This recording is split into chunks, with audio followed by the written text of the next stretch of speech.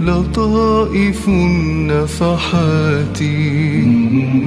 تزكي النفوس بأعبق البركات. تحيا العقول إذا أنار طريقها.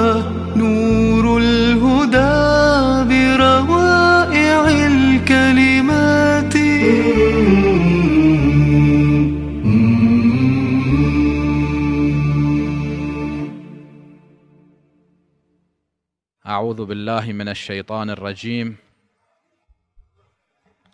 بسم الله الرحمن الرحيم.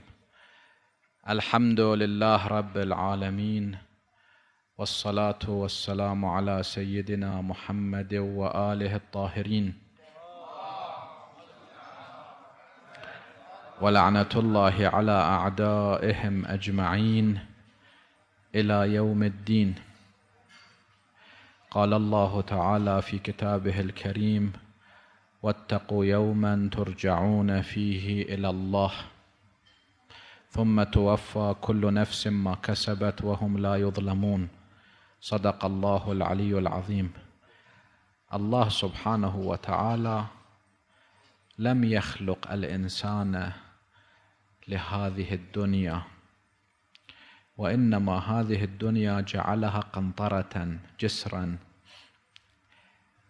إنما خلق الله سبحانه وتعالى هذه الدنيا لتكون مرحلة. كالجنين في بطن أمه. الجنين لم يخلق لبطن أمه وإنما مرحلة.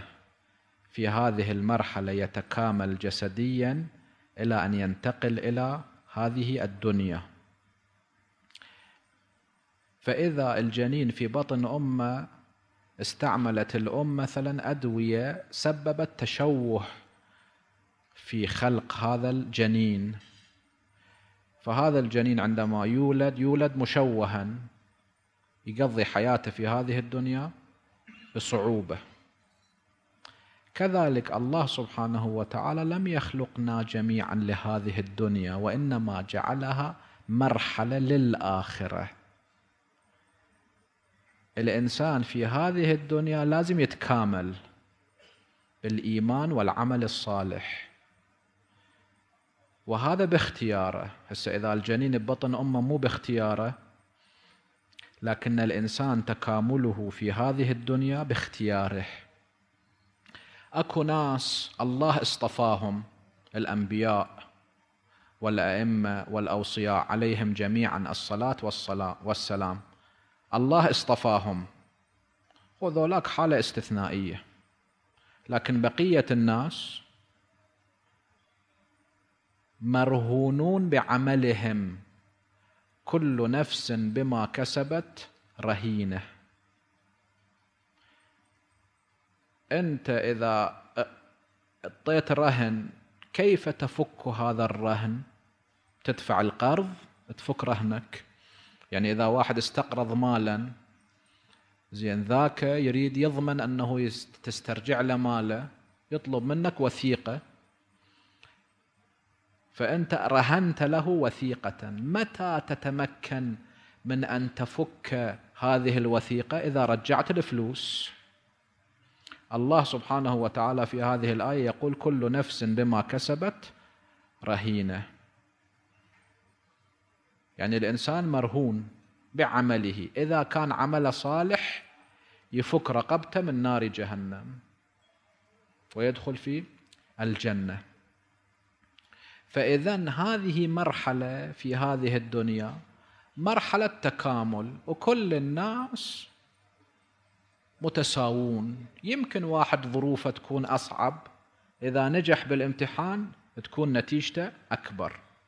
والله سبحانه وتعالى أتم الحجة علينا جميعا. يعني مثلا إذا شاب سقط في الرذيلة يوم القيامة ما يقدر يقول لرب العالمين أنا كنت مضطر كنت مضطر. لا مو مضطر. أنت كنت مختارا. كنت تتمكن من أن تضبط نفسك. لماذا لم تضبط نفسك؟ أكو ناس هم مثلك ضبطوا أنفسهم. والله سبحانه وتعالى جعل لك أسوة يوسف على نبينا وآله وعليه الصلاة والسلام. فظروفك مو أصعب من ظروفه. هو عبد مملوك لا يتمكن من فعل شيء ومالكته بيدها السلطة عبر زوجها. وغلقت الأبواب وقالت هيت لك لم يسقط في الرذيلة ورجح السجن. قال رب السجن أحب إلي مما يدعونني إليه.